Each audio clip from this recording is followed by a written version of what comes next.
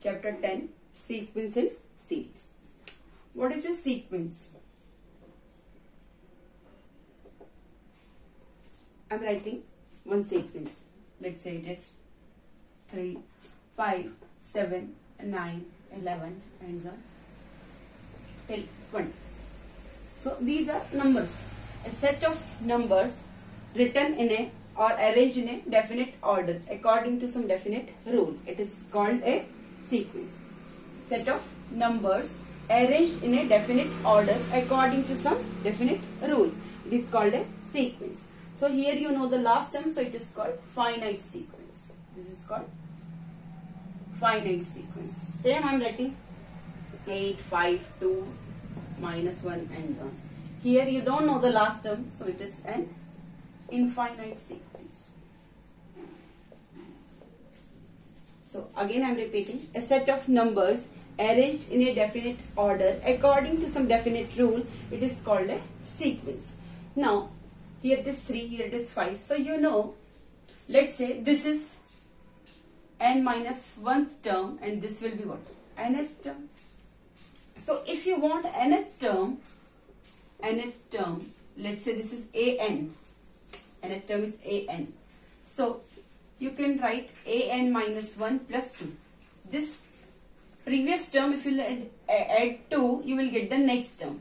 Same if let's say this term you want. So this term plus 2 you will do you will get 7 7 plus 2 9 like this let's say this is n minus 1 term and this will be nth term. So an you will get the nth term by adding plus 2 in the previous term. So you can derive one formula and write the next terms with the explicit formula. So you can say this is called a progression. If you can find the terms with the explicit formula, you can say this is also called a progression. Same you can say here, if you want 5. So 8, you will subtract minus 3, then you will get 5. 5 minus 3 will do, you will get 2. So with explicit formula, you can write the terms of the sequence. These are numbers which are arranged in a definite order. You can say these terms also. These are also called terms of a sequence. And if you can find the terms like which will come here like 3, 5, 7, 9, 11 like this. Which term which will come here? Which term will come here? So by explicit formula then it is called a progression. This is called a progression. Now same I can write for here also. Formula I can write if I want n a nth term, I want this nth term. So let's say this is n minus 1 term. So if I'll do a n minus 1. So 8 and next term is what 5. I want 5. So what will I do?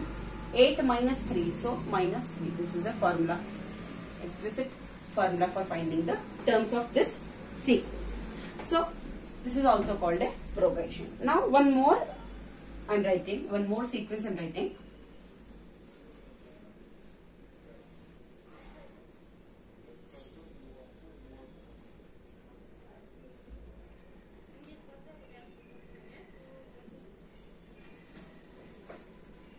Let's say 2, 3, 5, 7, 11, 13 and so on. It is a sequence. It is a sequence. But it is not a set of numbers arranged in a definite order according to some definite rule. You know here. This definite rule is there. Like all are what? Prime numbers. But I can't write explicit formula for finding the nth term. I know this is first prime number, this is second prime number, third prime number. And so if I want nth term, I will write nth prime number.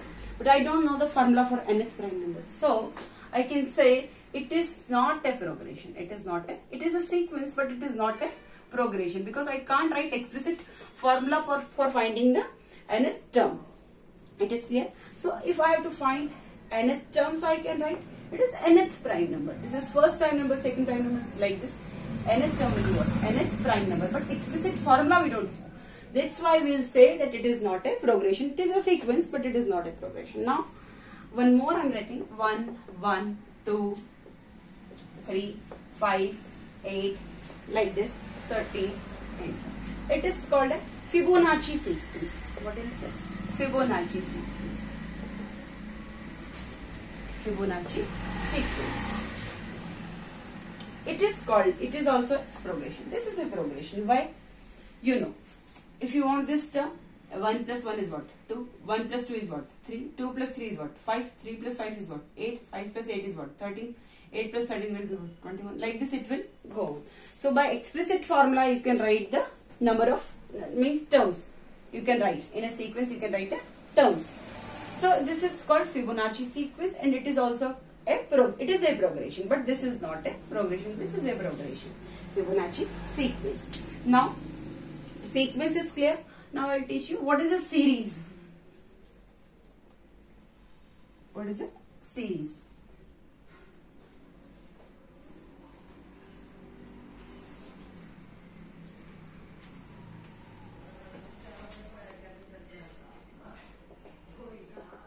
Series.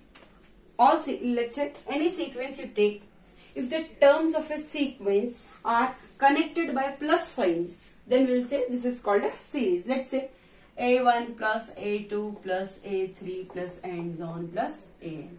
All terms are written a1 a2 till an and it is a series is it? Before we were writing like this a1 comma a2 comma a3 like this. So these these were called terms in a sequence separated by commas but I am writing a plus sign between them. So if the terms of a sequence are connected by plus signs, then we call this series. It is a series of n terms. Series of n terms. So, let's say if I have to add all these terms, like uh, I have to do sum of all these terms. So, I will say Sn, sum of all n terms denotes, if Sn denotes the sum of n terms of a sequence n terms of a sequence or series n terms of a sequence then one formula I am writing which you will use in exercise 10.1 Sn minus Sn minus 1 means sum of all n terms minus sum of n minus 1 terms. Leave this last one till n minus 1 term. If you add, you will get the nth term. This is the formula, very important formula. Sn minus Sn minus 1 is equal to an. You will get nth term.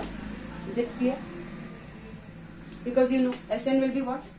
a1 plus a2 plus a3 plus till plus an minus. This will be what? A1 plus a2 plus a3 plus this plus a n minus 1. One less term. So you know a1 plus a2 plus a3 this will be cancelled by, it will be like this, a1 plus a2 plus a3 plus and so on plus an minus a1 minus a2 minus a3 minus and so on minus an minus 1. Is it clear? Here also plus an, so previous term will be what? an minus 1 plus. So this, this, this, this, this, this, only this will live. Only this will live. This will be left, an.